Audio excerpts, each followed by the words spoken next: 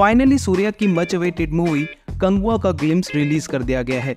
इसके first reaction की बात की जाए तो एक ही वर्ड निकल कर आता है पावरफुल इसके शॉट्स काफ़ी अच्छे तरह से डिज़ाइन करे गए हैं।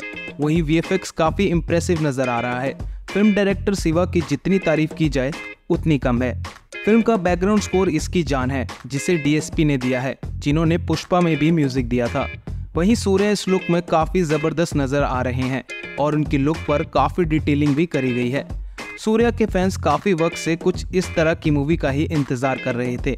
वहीं तमिल इंडस्ट्री के लिए ये काफ़ी बड़ी फ़िल्म है, जिसे दो पार्ट्स में बनाया जाएगा, जिसके फ़र्स्ट पार्ट का बजट 250 से 300 करोड़ रखा गया है। ऐसे में ये ग्लिम्स देखने के बाद हम इस फ़िल्म के लिए काफ़ी एक्साइटेड हैं। आपका क्या है कहना? हमें बता सकते हैं कमेंट सेक्शन में।